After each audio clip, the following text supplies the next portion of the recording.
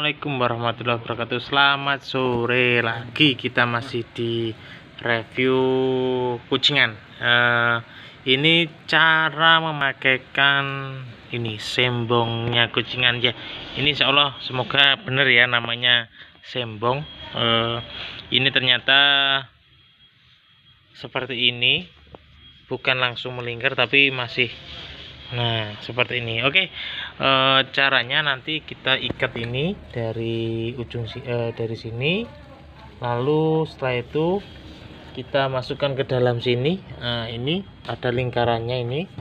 Nah, untuk lingkaran ini berfungsi sebagai e, pengikat nanti biar apa? Biar bisa masuk sini.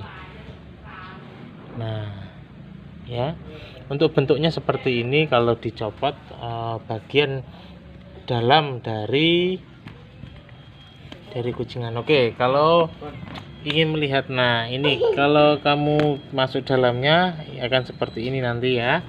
Oke tutorial. Tutorialnya memasangkan sembong ke ke kucingannya. Ya kita masukkan dulu.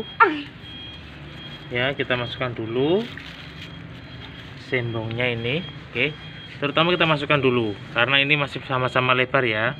Kita masukkan nah kita masukkan. Nah oke paham ya semuanya? Kita masukkan. Dijepit nih mas. Nah jepitkan masukkan. Nah setelah itu talinya ini kita tarik kanan dan kiri. Gini silang silang saya silang tarik silang. Ini nah nah terus. Sampai sisa setelah itu diikat. Nah, nah diikat lagi satu kali lagi. Oke nah seperti ini jadinya. Nanti dulu mas. Ya. Aduh jatuh. Ya seperti ini jadinya ya dari belakang. Uh, jadinya dari belakang teman-teman. Uh, untuk penaliannya lah ini dari depan. Ya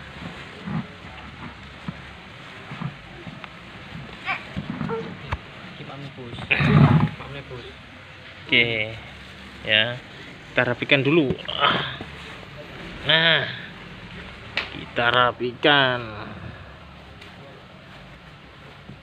Nah ini dimasukkan. Nah. Ah nah teman-teman seperti ini jadinya untuk pemasangan sembong kucingan kecil. Atau kucingan anak-anak. Hmm, oke. Sudah jadi. Kita perbagus lagi. Tata.